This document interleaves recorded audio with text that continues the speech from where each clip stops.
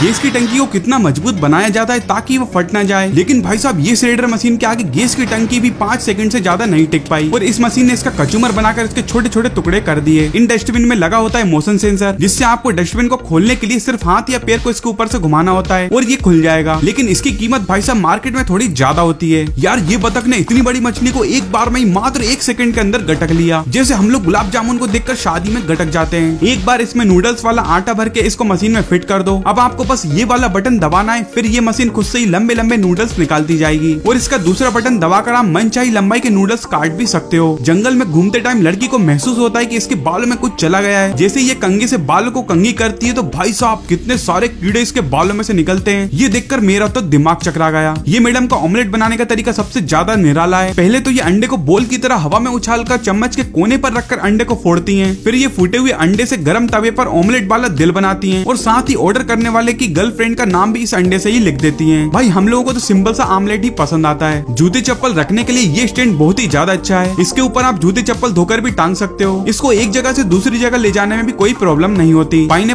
खाने के बाद भाई ने देखो इसकी कटिंग करके अपनी बिल्ली को ही पहना दिया। अब ये पक्का बाहुबली भी लग रही है। समुद्र किनारे रेत के ऊपर चलते टाइम अब की बार थोड़ा ध्यान से चलना, क्योंकि इस रेत में कभी कभी आपको ये एलियन वाला ऑक्टोपस रेत में छुपा मिल जाएगा। इनमें से आपको कोई भी जानकारी अच्छी लगी हो तो प्लीज़ दोस्तों, एक लाइक करके पेज को फॉलो कर लेना।